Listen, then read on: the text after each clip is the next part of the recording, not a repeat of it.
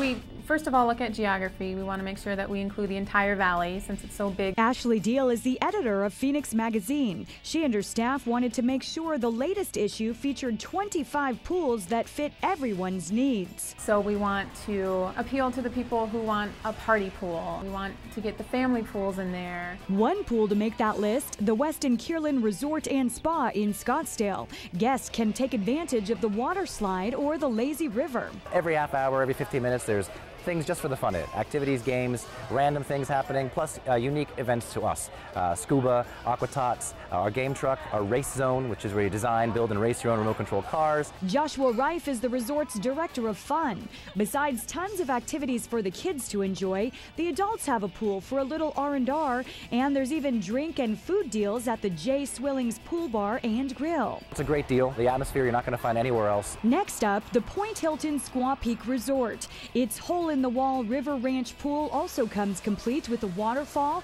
a water slide, and a lazy river. We have dive-in movies, obviously. We have pool, pool activities. We have just tons of crafts and arts and games. Effie Moore is with the resort. She says there are all kinds of great deals for guests to dip into this summer. It's $59 a day and it gets you a suite from in the morning until 5 p.m., I believe. So you can come in, check in, you get four passes to the River Ranch. And for those who just want to go for a day swim, it's open to the public. The price, $15 per person and free for children under 42 inches tall. Another pool you might want to be seen at this summer, according to the magazine, the Oasis at the Clarendon Hotel.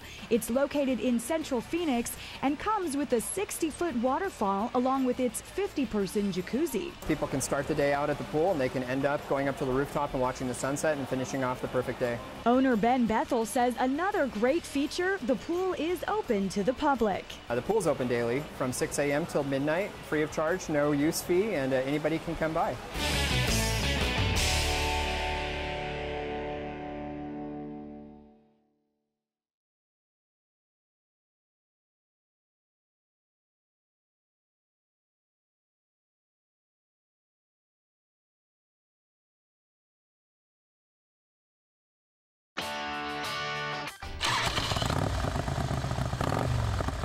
In a car, you're usually on a mission. You're going from point A to point B.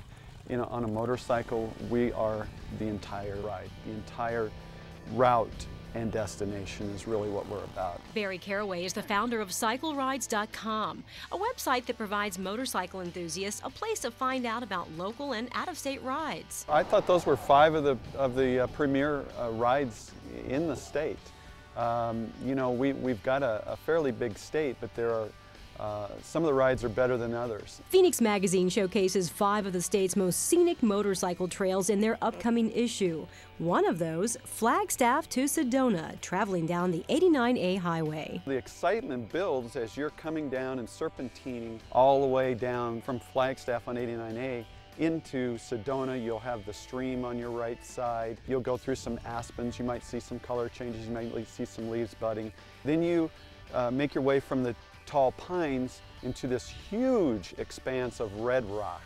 It is the most beautiful ride coming down through there because your senses are tickled in a lot of different ways. But the scenery isn't the only thing this ride has to offer. There are all kinds of attractions from Slide Rock State Park to great shops and restaurants in Sedona. And what about all the people you'll meet along the way? There are some characters out there that that that lighten up the whole trip sometimes, you know. And, and, when you meet these guys, they're your friends for life. Looking for fewer tourists and more history? Well, check out Kingman to Oatman via Route 66. It's going through the Sitgreaves Pass. It's going through some high desert, some brief pine. And all as you're serpentining through this area, you're going through a mining area. So you've got plenty of places to stop, plenty of photo opportunities, there's plenty of pull-offs. And then at the end, you hit the old town of Oatman, and that is that is cool. From roaming burros to the historic Oatman Hotel, where the likes of actor Clark Gable stayed, the destination is well worth the trip.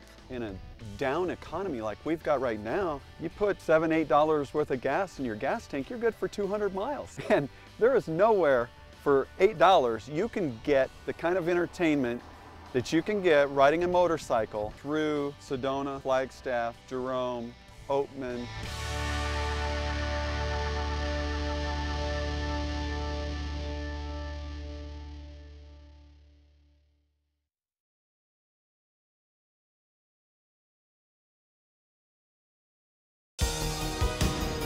30 years, veteran reporter Mike Watkiss has prowled the streets of America and points around the world, covering the cops and robbers beat. Anything you can tell us, sir? OJ, anything you can tell us? How you doing? Guys, Get back. Get out of my... Mr. Nichols, anything to say? Did you did you know any?